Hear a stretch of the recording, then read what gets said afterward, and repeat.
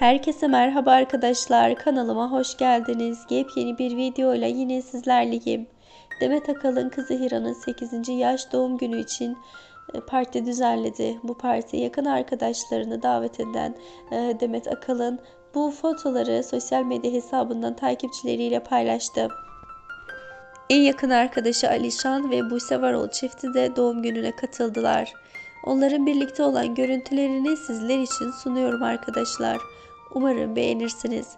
Yepyeni magazin haberleriyle yine sizlerle olacağım. Emeğe saygı olarak videomu beğenmeyi ve kanalıma abone olup desteklemeyi unutmayın. Hoşçakalın. Diğer videolarımda görüşünceye dek.